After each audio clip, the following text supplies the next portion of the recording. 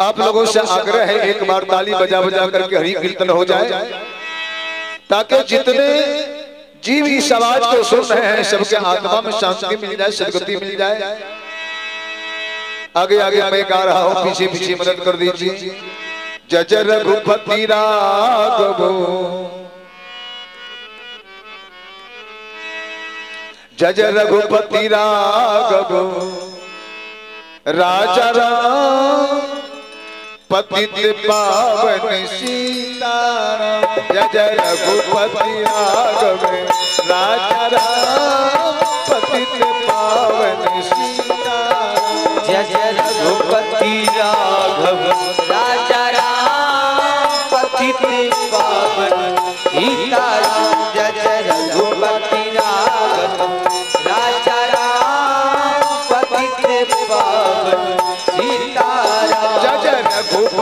राघव राजा राम पतित पावन सीताराम जय जय रघुपति राघव राजा राम पतित पावन सब आदमी थाली बजियो। कुछ आदमी नहीं बजबे छी अभी आप बेला में नहीं हैं। जब तक ये सत्संग भजन चलता रहेगा तब तक समझिए आप अयोध्या में हैं हम स्वर्ग में हैं।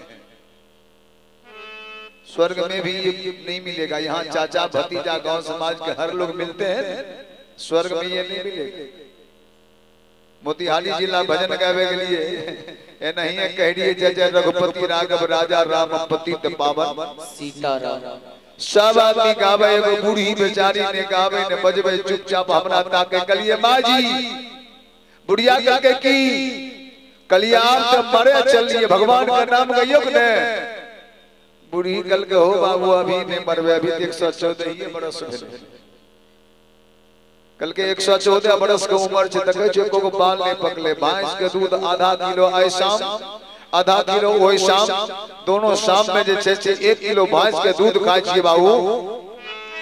कलिए एक सौ चौदह बरस पूरा भए गेल कखनी गाड़ी अपने के निकल जाए कोई पता नहीं अपने हियो कहियो जय जय रघुपति राघव राजा राम पतित पावन। सीताराम।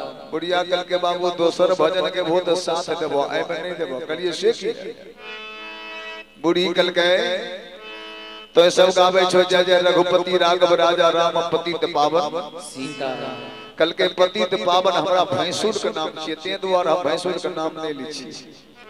बूढ़ी कल के हो बाबू हमें सोचे छियै कि जब एते दिन भैंसुर के नाम नहीं लेनो तो मरे काल में भैंसुर के नाम की ले लेकिन बुढ़िया बड़ा होशियार रहे। बुढ़िया के भैंसुर के एगो बेटा का नाम रहे पप्पू। सब गावे जय जय रघुपति राघव राजा राम पतित पावन। सीताराम अब बूढ़ी की गावे जय रघुपति राघव। राजा राम पप्पू के बाबू सीताराम जय रघुपति राघव, राजा राम पप्पू के बाबू सीताराम जय